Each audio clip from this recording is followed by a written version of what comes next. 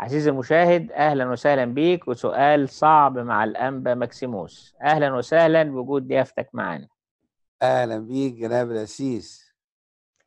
من هو ملكي صادق؟ وما معنى القول في المزمور أنت هو الكاهن إلى الأبد على رتبة ملكي صادق؟ ملكي صادق هو ملك سليم مدينة السلام. ملكي صادق مم. ملك سليم و وملكي صادق كان كاهنا قبل عصر الكهنوت الهاروني مم.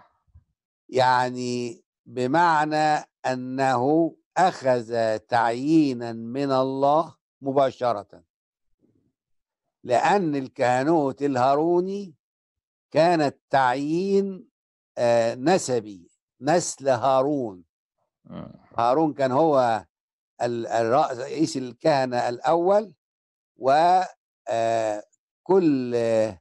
أبناء هارون من الذكور هم الذين يصيرون كهنة فكهنوت هارون كان كهنوت بالنسب والتناسل.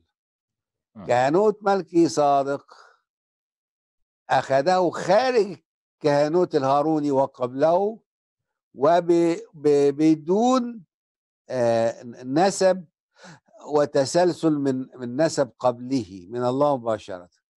وده آه، بيرمز إلى كهنوت المسيح.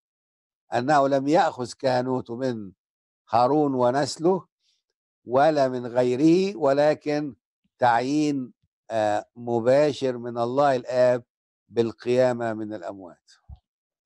شكرا جزيلا وبشكرك عزيزي المشاهد ونتقابل المرة الجاية وسؤال آخر صعب.